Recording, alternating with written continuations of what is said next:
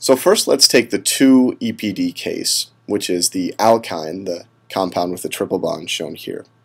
So at that carbon, we see we need to form two sigma bonds, right? One off to the left here, and one off to the right. And to do that, we would need two hybrid orbitals.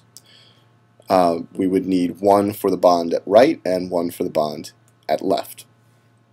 To get the two hybrid orbitals, we take the four simple atomic orbitals and we say, well, we need two orbitals out, so we'll need to put two orbitals in.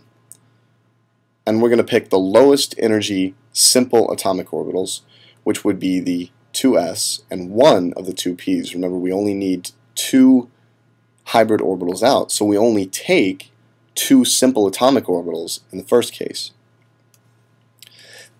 That's why we call this sp hybridization. In the case of two electron pair domains, you'll see sp hybridization. That means we've taken one s and one p orbital and made hybrid orbitals out of them. So these pink lobes here are the sp hybrids, and that's why I label the text in pink. Now since we only took one s and one p to form those two sigma bonds, we have two p orbitals left over, and that's why I label this text in green and blue these blue and green lobes that you see here are the leftover p orbitals that can participate in pi bonding. And as you can imagine, another, another carbon atom over here probably has two available p orbitals as well. And what we'll get is pi bonding between those two. And that's where the multiple bonds come from. So you can see that a lot of the real subtle electronic details of where the bonds are located in space and their character in terms of orbitals is really illuminated with this hybridization approach. So we saw that we needed two electron pair domains. That's how we saw sp hybridi hybridization at that carbon. And then noting that we only use two of the simple atomic orbitals, we see that we have two orbitals left over for pi bonding.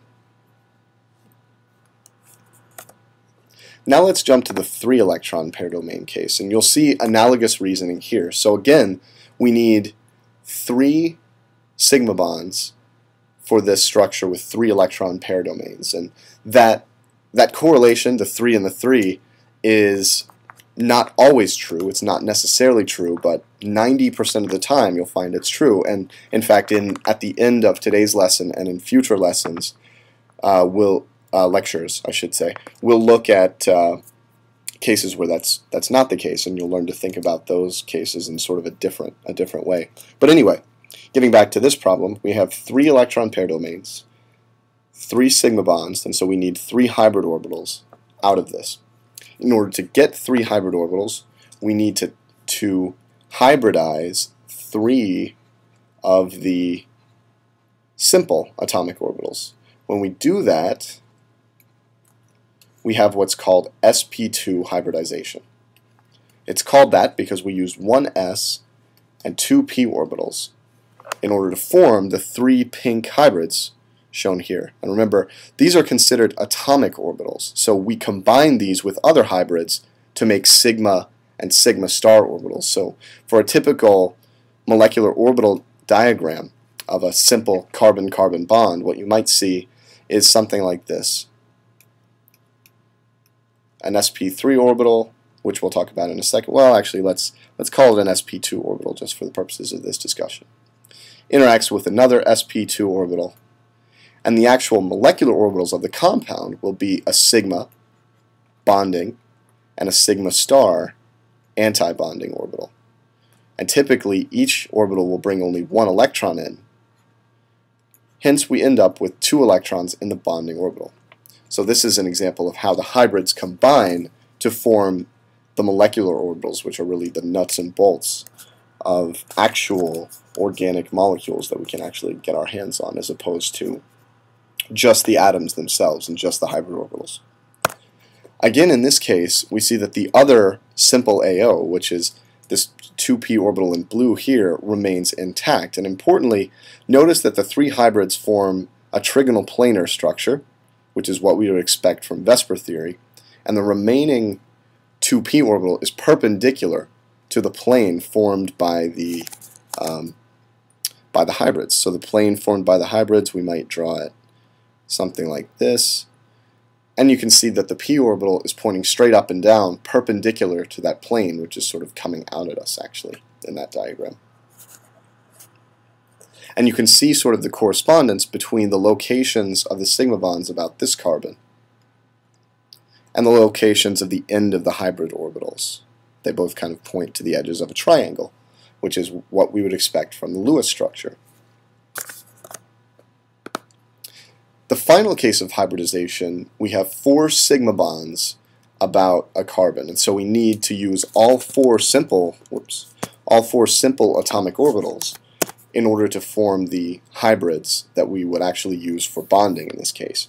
So we would take all four orbitals, that's called sp3 hybridization because we've taken the s and the three p's and hybridized them all and all four of those orbitals are being used to form these hybrids. So the hybrids, you can see the larger lobes. Don't worry too much about the little nubs kind of on the backside there. But those hybrid atomic orbitals are shown for you here. And notice there's nothing left over. And we don't need anything left over because there are no pi bonds around this carbon. It's already got its full uh, octet of electrons and it's, it's good to go. As a result, we don't need to worry about any remaining 2p atomic orbitals, and these hybrids, just like we saw before, can interact with hybrids on other atoms to form um, covalent bonds.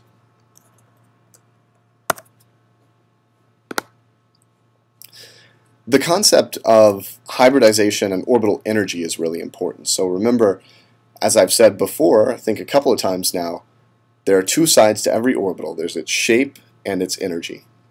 They're somewhat related, but you should learn everything you can about both the shape and energy of orbitals and really understand the origin of the shapes and, and energies of orbitals. So in the case of hybridization, the orbital energy is derived from the energy of the simple atomic orbitals and the amount of s and p, what's called character, that we put into each orbital. So Say we have three p orbitals and one s. Hopefully you're used to seeing this by now. These are the energies of the simple atomic orbitals.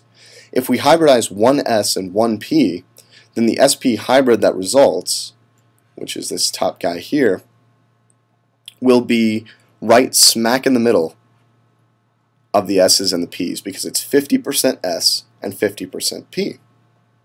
Hence, the reason it falls perfectly in the middle of the s and p orbitals. Now, if we were to take two p orbitals and one s orbital, as in this case, so that corresponds to there, if we were to take um, now two p orbitals and one s, well then we've raised the energy slightly because there's slightly more p character in there. So now we have what 33% S character and 66% P, just take the sp2 and divide it by the total of three simple atomic orbitals that you use to get the 66%, and that higher percentage of p character raises the energy of the orbital. Unsurprisingly, right, because we're getting closer and closer to a pure p orbital, which would of course come in right at the same energy of the three levels I've drawn there.